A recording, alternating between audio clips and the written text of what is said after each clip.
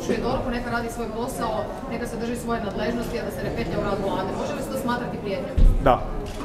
Da, to se može smatrati prijetnjom. Možete li obrazložiti to, pa, to je toliko jasno, to je toliko evidentno da se to ne može dodatno elaborirati. To je prijetnja.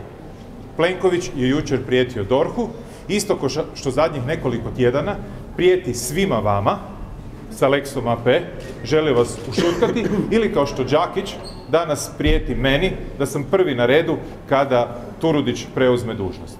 Ako to nekome do sada nije bilo jasno, ja to doista ne mogu dodatno elaborirati. Ako je izbor e, gospodina Turudića za Rubikon koji se nije smio prijeći, zašto se niste pridružili prosvjedu koje je jučer?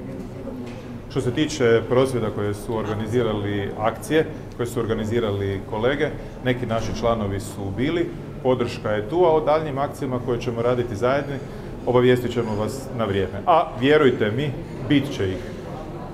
Ali idemo korak po korak.